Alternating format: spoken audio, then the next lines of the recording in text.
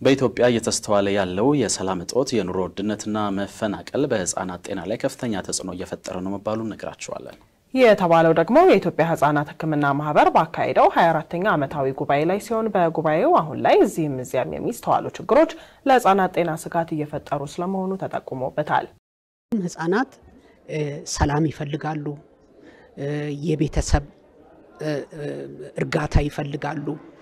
ህጻናት ደግሞ ተመጣጣኝ የሆነ ምግብ ይፈልጋሉ።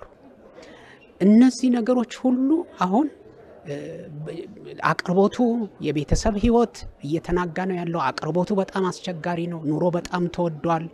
የህክምና ወጪው በጣም ከባድ ሆኗል እና በጣም በችግር ላይ ነው ያለ ነው። ስለዚህ ይሄ በጣም አሁን ያለንበት ሁኔታ በጣም ለልጆች እድገት በጣም አስቸጋሪ የሆነበት ሁኔታ ነው ያለው።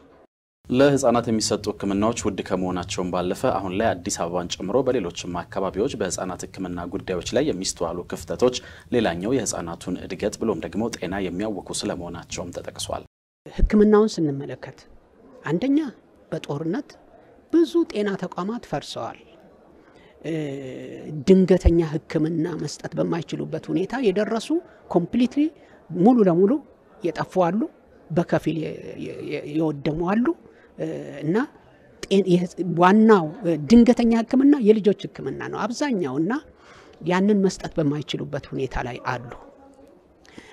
ህክምና መስጫ ተቋማትን ስንመለከት በአዲስ አበባ ውስጥ ያሉትን እንኳን ስናይ የመድኃኒት አቅርቦቱ በጣም አነስተኛ ነው።